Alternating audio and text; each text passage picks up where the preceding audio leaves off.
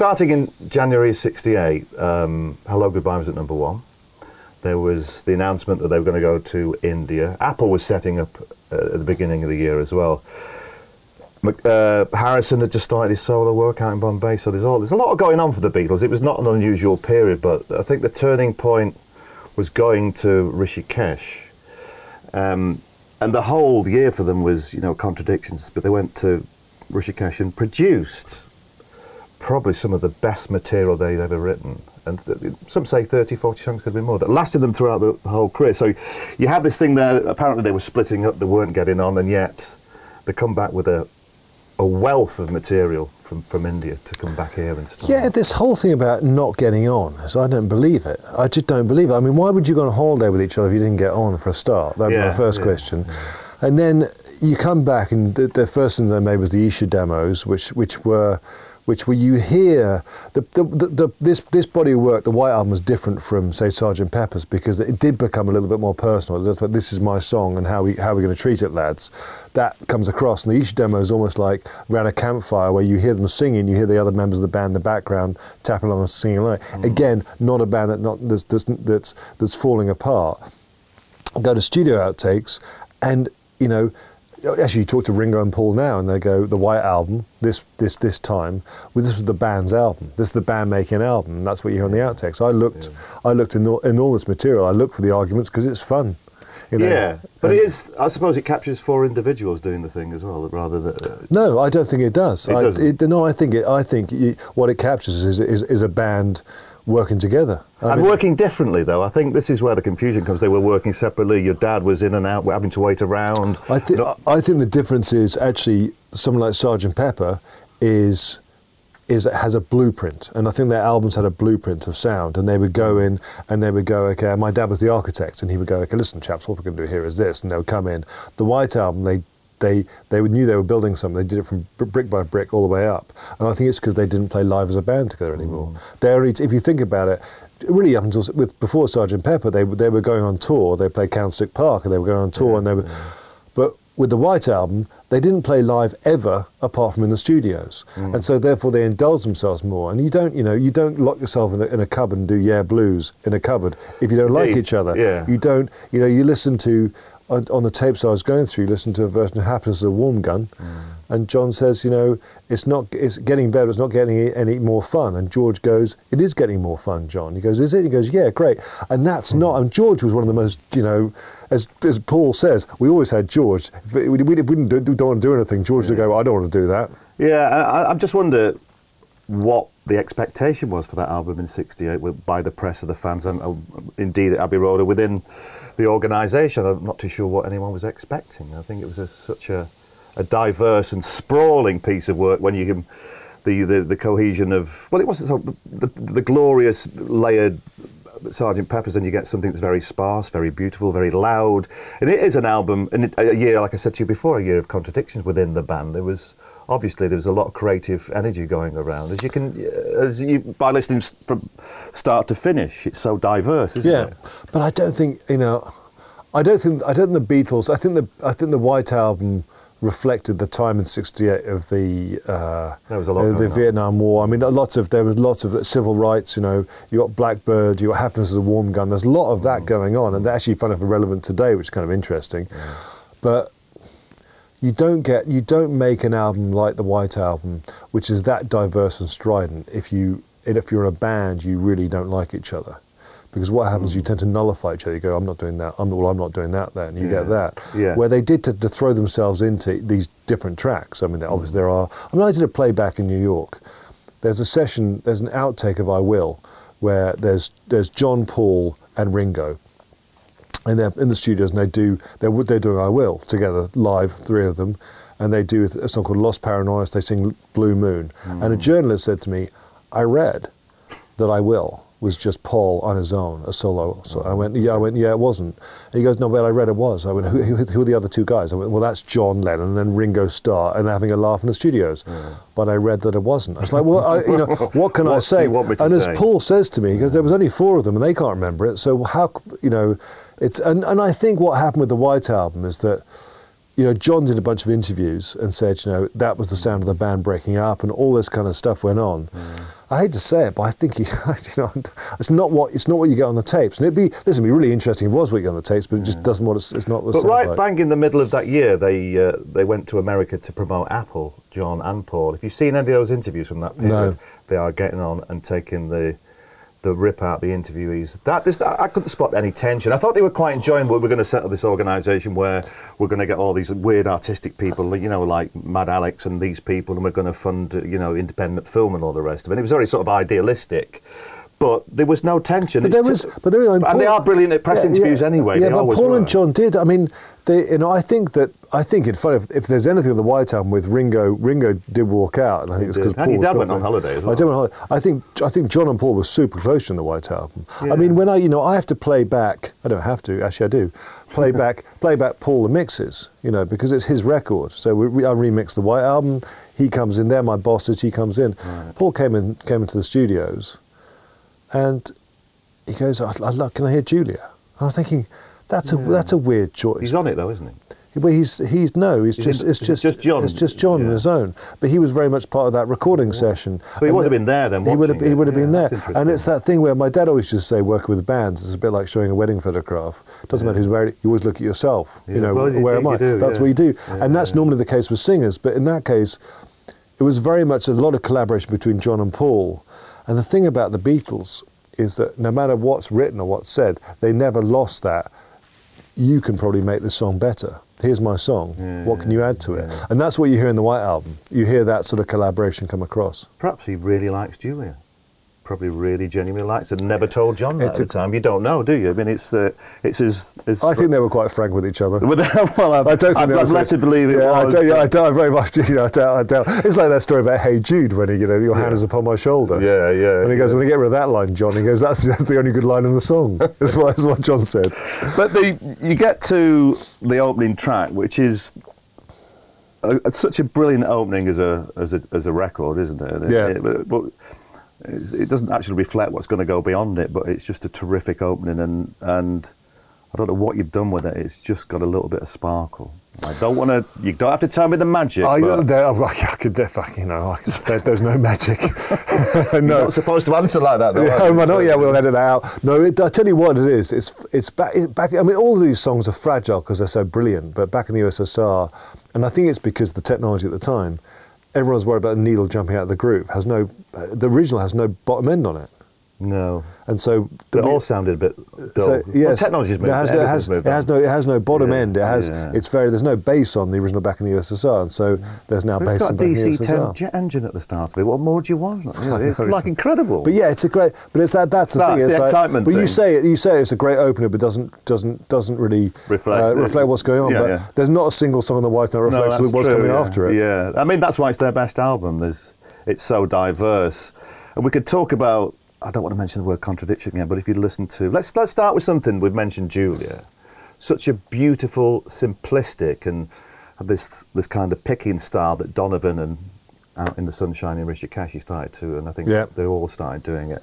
But it's just simplistic, and it's a very heartfelt song, Julia, isn't it? For Yeah. somebody who is perception is is angry, he's on drugs, he wants this peace thing, and he's, he's a song that essentially it might be about yoga, but it's about his mother. He's all these things in there, but it's such a tender, a Yeah, tender but- record, isn't it? Well, I mean, yeah, but John was tender. I mean, you know, Yeah, well, of course, If, you- yeah, if, yeah, if you think about John's, I mean, so like, I mean, He was know, very acerbic, I mean, though, yeah, but? I mean, uh, you know, imagine Yeah, You know, well, yeah, it's, yeah. you know- well, it's the peace thing in the background, wasn't it? Yeah. across the universe, which is the same period across the universe as the White Album sessions. There was there was a yeah, I mean there was a beauty to his voice. Mm. In fact, there's a there's an outtake we found at the back end An of one of the tapes. on that, isn't? Yeah, Yeah, yeah, that, yeah. that he that he's talking to my dad, and he's. He's trying. He's trying to strum it because he's, he's he's worried about the way he sings it and fingerpicks at the same time. That took him a while to get Yeah, right. Yeah, yeah, there's a lot going on. And he goes, he goes, it's very hard song. To, it's very hard song to sing this. And he talks and he starts singing, and it's just beautiful. It's just beautiful. it's and and the thing about that is that it makes you realise that the reason why he sounds like John Lennon because because he is John Lennon. He's bearing his soul, though, isn't he? Yeah, but he's just really good as well. Yeah, yeah. And another, quite possibly one of the greatest compositions, Dear Prudence, is on that. It's a very the same technique and everything, but and uh, another song in Rishikesh, which is just Yeah. incredible. Um, it's simple but complicated at the same time. It's just we all know that rundown, don't we? Yeah, and it's it's Paul playing drums. Yes. A lot of people don't Yeah. realise that. That was Yeah. when Ringo had, gone gone on a holiday much to in it? Is it Sardinia. just brushes. I don't know what's in there. No, it's it- it's it's is it- there. Yeah, it's, is uh, it? the- there's the crazy bits at the end. All right. Yeah. yeah, Of course. It's very yeah. Ringo. Yeah, well, yeah, yeah, but it's you know the, the, the, what would I think we're saying with those songs. It's very del- It's a very delicate album, Yeah. and and then you know I think one of the, the the the things that I latched onto when I was a kid, not necessarily remembering when it first came out because I'm far too young, but. Um, Glass Onion is the nearest thing I think they sounded to Stax or Motown. I got to get you a it's supposed to be a Motown record, but the Glass Onion thing is just people don't really remember that record, but it's such a it's it's on the beat and it's it's got like a like that Stax sound. I know they Well, were influenced. In a funny way, Savoy Truffle as well. Yeah, The there are, there are. like Yeah, when that's that, yeah, that's yeah. like Booker T and the MGs Yeah, yeah, or yeah, something, yeah. is it? You know, it's it's brilliant. Yeah, I mean, I think the way I, the way I think of the White Album, it's an album that constantly slaps you across the face. It's like just when you think you're, oh, okay, I know where I am. It's like, no, Yeah. you're not. You know, wake up. And I think we miss that today. You know, the fact that there's, we find comfort in the fact that we can easily switch something off. You know, my kids, my kids are in a car and they'll go, hear this song, Dad, and it'll last about 45 seconds, and they'll play another song. Quite a long time for kids, forty-five. Yeah, that's, so they can't, they can't reach the controller, slap them on the hands. Yeah. yeah, but there's a, there's a, there's there's that, and there's the beauty of a record like the White Album, where a track you makes you feel uncomfortable, you have to sit through. Yeah, there's a lot of them on that. Let's talk about the chronology of Revolution then. There was, oh, let's get this right, the slower version was the first one. Yeah. Correct. Correct. Tell me about that. And then the single version was done later, and in between you had Revolution number nine. Yeah, so Revolution number one. So it's a bit like a. It does, yeah. So yeah. it sounds like, a sounds like a bit like a gin, doesn't it? Actually, wait a second. take mine with yeah, yeah, cucumber yeah, yeah, yeah, write that one down. There we go. it's Beatles merch. No, it's you know, You spotted a gap in the market there, but, Re- Revolution number one uh, was the first version and was recorded, recorded reasonably early on.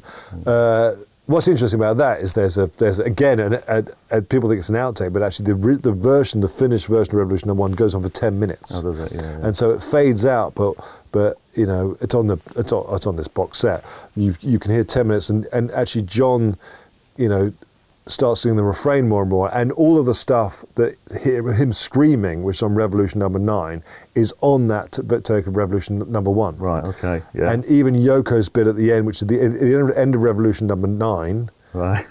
okay, Yeah. is on Revolution number one. Okay, bear with me. There's, there's there'll, be, there'll be questions later. I'll, I'll, I'll try. I'm trying my best. so that's the so that's the that was the that was the all of the crazy bits that you don't hear on Revolution Number One on the White Album because it fades out. Started making up Revolution Number Nine, put that to one side. Revolution Number Nine was a project really that was was John and Yoko and George, and then the others added on, and my dad got involved, and as they all loved it. It wasn't it wasn't that. As a- It was as- divisive. Yeah, It- it, it- it, wasn't. It was devices for the listener, but my dad, for instance, thought it was great. No, it is, You know, is that is that yeah, because it, it's it is completely bonkers. It's kind of scary. Yeah, I mean, it's a lesser album if that was taken off. You know what I mean? It, it, Yeah, it- exactly right. it's a layer. And then and then Revolution the single because they realised it was such a strong track is was, was, was was made separately. And uh, it's funny. I was I was um, talking to some Chinese uh, last week, and they told me that record is still banned in China. Is it really? Yeah, because the reference to Chairman Mao. Right. I think it's time to lift that. Yeah, well, you could barely, yeah, Let's get rid of Trump and yeah, let's, let's bring let's bring peace to the world. Yeah, yeah, rather you than me. You can, go, Yeah. but you can fight that battle. yeah, yeah. but um, I mean, I suppose the background is now we say the, the, there's a, uh, with John getting into the peace movement and Yoko was on the scene, so there's a lot of you, it, that context is kind of gone, but hasn't it with the album? There was, there was they were hippies, weren't they? Essentially, I mean, Yeah, it's not really a hippie album, though, is No, it? Because no, it's it's too. not. Well, people forget that the, the people forget the hippies are angry. Yeah. Do you know what I mean? I mean, can- they? Yes, they were. Yeah, you mean you do? You, demonstrated in Yeah. '68, May '68. yeah, they? exactly. Yeah, You can't you can't really protest about stuff without you know. And the White Album, the White Album does reflect that. It does. Ref- it does reflect that you know that time where the it's it's the it's it's a perfect sort of. Um, it's the summer of love was the year before. was yeah. and and there's so many dark clouds within the music of the White Album. Indeed there that is. break that sunshine. There was demonstrations all around the world Yeah. in '68, Paris, etc., and you know civil rights in, in America. It, it, as we talk like this, if that had been put into on the, the Mars probe or that thing that's still going in space, I can't remember the, with uh, White Album on, and it was found like you know on another solar system, they would no idea what was going on on the planet if they listened to that record, would they? It's not cohesive at all. You know, it's so there's nothing really like it, is there, for, the, for its time? No, and And we've no- not even got to Helter Skelter yet. There's we? nothing. There's nothing really like it, and nothing since. And I don't think a band can make an album like that now because they'd be accused of being derivative. You know. Yeah, That's yeah. Uh, and also you wouldn't be in a situation where the band had to. You know, it's funny when we do these projects, like you know, look at the white album, look at the archive. It's really small. It's like there's me and I have an engineer that I work with. And then there's the Beatles, and that's it. Mm. That's it. There's no one. There's no. There's no play it to a board and see what's like. And the way the White Album was like that with the Beatles, because they, even with my dad, they were like, "This is the record we're going to make," and there was no other interference. But your dad got fed up of sitting around, didn't he, during it? He got fed up with the hours. He got Yeah. fed up because he he he. Was it quite rigid early on, like nine to five or something? Yeah, The I mean, they? yeah, they would they would record an album in a date initially, and then they would record. And the EPs They would the do next three, three songs before lunch, and then Yeah, yeah, and break, and yeah, and that was it. And the White Album was 106 takes of "Sexy Sadie," Yeah. and they would say to him, you hear it on the tapes, they would say to him. Um, what do you think, George? And you go, yeah, that's what you know. They go, we'll, we'll tell you when it, we'll tell you when we got it. Twenty-two takes later. No, we, no, and they'd say we'll tell you when we've got it, Oh, opposed right. to around. Right, okay. And I think that's a that- big change in dynamics. Yeah, exactly, exactly. And so he just would go home. Yeah. The I don't know how well it actually did and how it was received. It's their biggest selling record, isn't it? Is that right? Yeah, it's it's slightly confusing. I mean, they, they sold a lot of records, all their records, Obviously, but yeah. it's slightly confusing because I think in America it counts as two albums, Ah, right, okay. so it's their biggest selling record. Yeah. But I think I'm not sure. I don't know. I don't know. It's certainly it's certainly it did okay. A slight understatement. It's the there. biggest selling record of the biggest But it selling was, out, band. it was out in November, and then uh, so it's a winter record in a sense. It'd be out at this time of the, year. the winter of love, the, winter of discontent. the winter of love. I quite like the sound of that. And uh, what do you know of its, its reception at the time? It obviously went to number one. There was no problem with it. I'm just wondering what critically.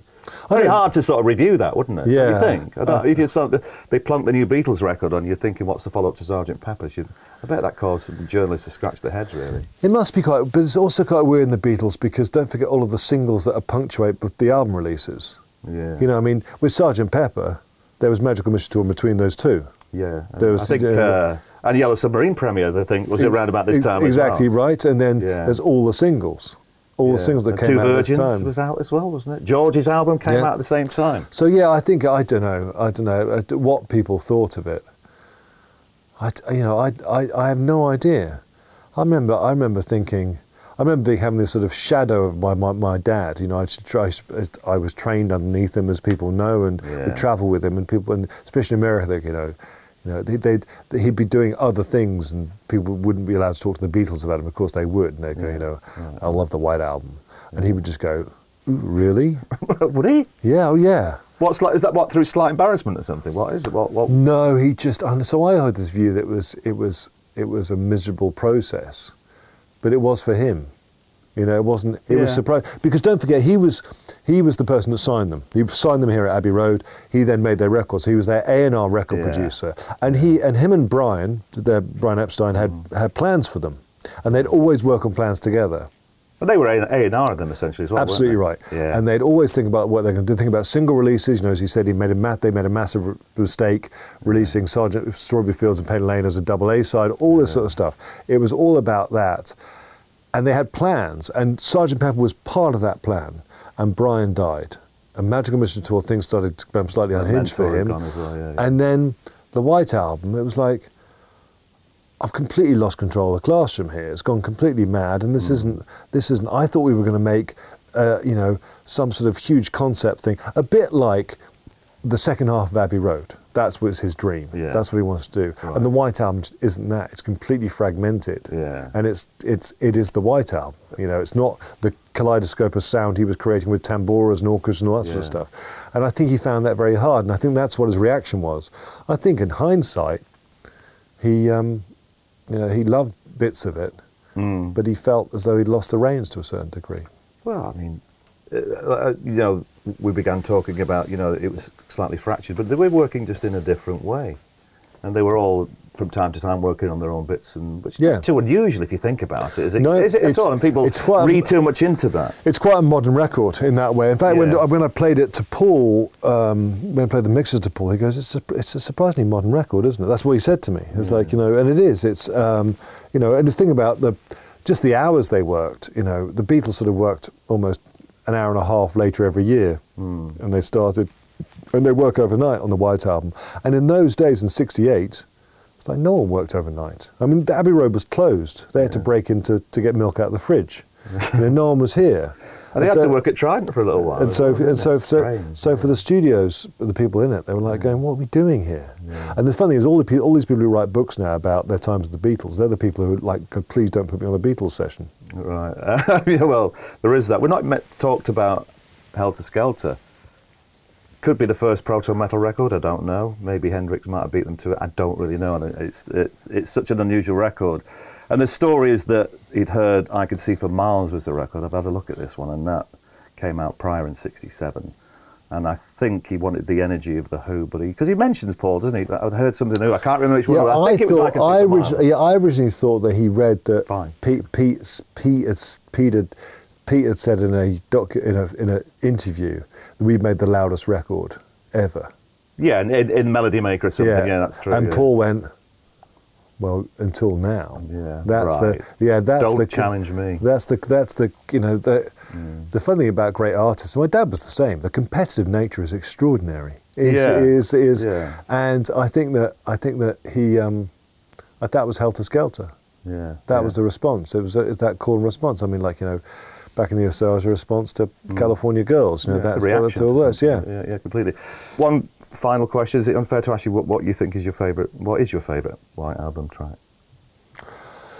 I think well, it's it's a toss up between. I think it's So you've gone to two already, haven't you? Yeah, well, Yeah. I'll ask you the same question. well, I can pick. I can Yeah. possibly pick. Happiness is a warm gun Yeah. really grew on me as a, a mixing because you know we listen to the tracks again and again and again, and that's one of those really interesting. That slightly blues number to begin with in the that right? Yeah, it was. Yeah, it's the demo. The, the Esher demo is very different. You start singing "Oh Yoko" Yeah, in yeah, that, yeah, yeah. but but that is such a an interesting track on the grounds that it doesn't have a chorus. That's right. Yeah, It I've just- not thought about that. just- and it Does it need one then, perhaps? And it reminds me of no, it reminds me of a Frank Zappa track. It reminds Yeah. me of like I used to love Apostrophe, that Frank Zappa album. no, that wouldn't. And it, yeah, it's interesting. Is it? And it reminds me of that sort of just vocally, and yeah, I just, I just think it's it, and also, it's a very poignant and brave record for today, especially. I mean, today I think there's been something going on in America. Completely, Um, uh, Blackbird as well. Blackbird because I mean, uh, it- Blackbird's one of those songs which is so beautiful and yet means so much, and yet it's such an amazing guitar part that you can learn how to play. Hmm. You know, I found my, my kids trying to work it out the other day. I don't think I could do it. Oh, you could do it. Could I? Really? Yeah, yeah, yeah. Yeah, I'll teach you. Give it a go and go. Yeah, All yeah. right, thank you. Right, we're done. It's all about the music. Virgin Radio.